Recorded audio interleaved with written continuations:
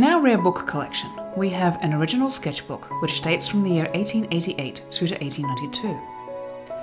We do not know who the creator of this work is, we only have the initials NB, so we have titled this book The Victorian Lady's Sketchbook. This private sketchbook is one of the most intriguing items in the rare book collection, and not simply because of its orphan work status. The sketchbook contains many botanical sketches and watercolours, as well as rural landscapes, with sketches made in Britain, India, and Australia, including the Bowen district in Queensland. Early sketches and watercolours completed between 1888 and 1890 indicate the artist's botanical interests. But among the wildflower illustrations are landscapes featuring rural scenes in England and Scotland. From the domesticity of Britain's wildflowers and countryside, the location suddenly becomes exotic. In December 1891 and January 1892, there are drawings from both sides of the Indian continent. By May 1892, there are sketches from Heidelberg near Melbourne, and in July from Chatswood, New South Wales. All of these are botanical flowers, fruits, and leaves, some confidently named, others simply described.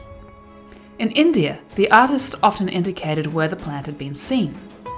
But there are no landscapes, even though the districts visited were known for their outstanding scenery. Once the artist arrived in the Bowen district, he or she had both the leisure and desire to paint no less than 11 landscapes in the month of August, several in considerable detail. Views across the water to the island and cape clearly made an impression, as did the river and bush scenery inland. One full page watercolour shows a picnic site beside a river, capturing the faded colours of the bush under a midday sun, but not the deep azure of a North Queensland sky. Tantalisingly, in these Bowen paintings we encounter the name Pencraig, referring to a local property. Two landscapes feature this name and refer to its owner as A.B. or Albert. Could NB, the artist, be related to AB of Bowen's Pencraig, and was this where she, or he, was staying? Both seem likely. The Victorian Lady's Sketchbook is a mystery, but also one of our favourite works in special collections.